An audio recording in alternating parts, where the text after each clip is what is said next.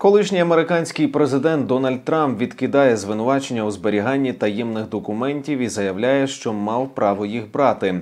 Він залишив залу суду у Майамі без будь-яких умов, підписки про невиїзд грошової застави і продовжив свою участь у президентських виборах. При цьому він пообіцяв, якщо його оберуть, він призначить спеціального прокурора, який розслідуватиме дії Джо Байдена.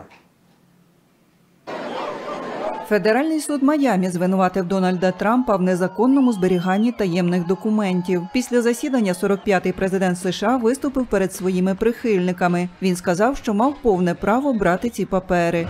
Погрожувати мені чотирмастами роками в'язниці за зберігання моїх же президентських документів, що робив майже кожен інший президент. Це одна з найбільш обурливих і ганебних юридичних теорій, які будь-коли висували в американському суді.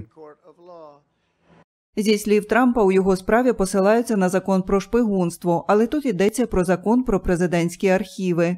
Проте його навіть не згадують у цьому безглуздому 44-сторінковому обвинувальному акті. Відповідно до закону про президентські архіви, який є цивільним, а не кримінальним, я мав повне право одержати ці документи. Трамп зазначив, що якщо його оберуть, він призначить спеціального прокурора, який розслідуватиме дії Джо Байдена. Дональд Трамп залишив залу суду без будь-яких умов, підписки про невиїзд чи грошової застави. Це був його другий візит до суду за останні місяці. У квітні він не визнав себе винним за звинуваченням у виплаті грошей за мовчання акторці фільмів для дорослих у 2016 році. Трамп став першим нечинним президентом, якому висунули звинувачення у федеральних злочинах. Засідання суду почнуться найближчими місяцями. Водночас Дональд Трамп дав старт кампанії повернення собі президентського крісла на виборах у листопаді 2024 року.